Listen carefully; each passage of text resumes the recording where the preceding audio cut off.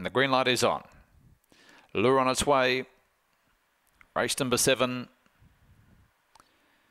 Racing, Q-Star jump quickly on the inside. Also fast away, Four Narkey. Surf Talk works across from the outside and Satry Boy comes across as well and Satry Boy finds the top out by three. Q-Star, Surf Talk in behind them. Accident Range, Phantom Lord well back in the field. West on space, Triple Crown Bev. Last of all was Four Narkey. Off the back they go. Satry Boy by two on Q-Star. Four lengths behind them was West on space in the straight. Satry Boy coming at it. Q-Star. Q-Star over the top wins from Satry Boy. Surf Talk Flashlight then followed by Phantom Lord along with West on Space, Accident Range. Well back was Triple Crown Bev and Four Key.